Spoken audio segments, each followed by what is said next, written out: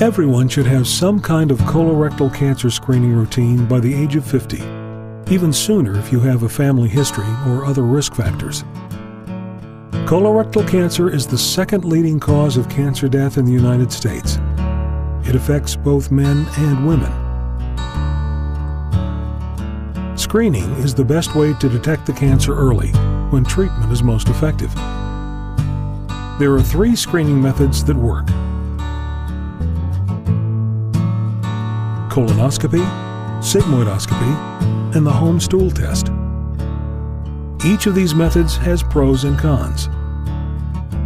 You can use this website to investigate the options and identify your preference. Then you and your doctor can decide which plan is right for you.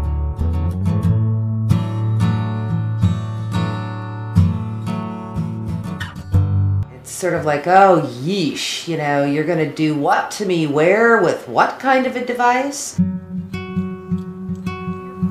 You just hear the word colonoscopy and you're like, oh, I don't want to go through that.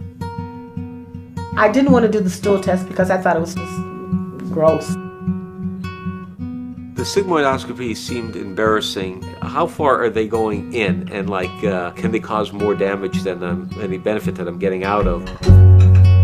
But I was getting information from people who hadn't had the procedure done when I decided, well, I need to find out for myself. And if somebody did tell me, you're gonna have to drink that nasty stuff, I said, can I put some sugar in this? they said no. There is a big screen there, so you can actually watch your own colonoscopy. I'm not one of those people. I just, you know, get me in, put me on the slab, do the thing, and get me out. Okay, how am I going to get poop on a stick? Everybody was saying that my gas sounded like a truck horn.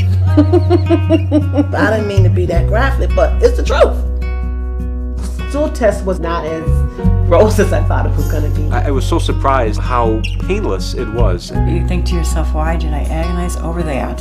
I think I worried over nothing. My goal is to be as healthy for as long as possible. Boy, I want to live to be a hundred, maybe a little more if I stop eating ice cream.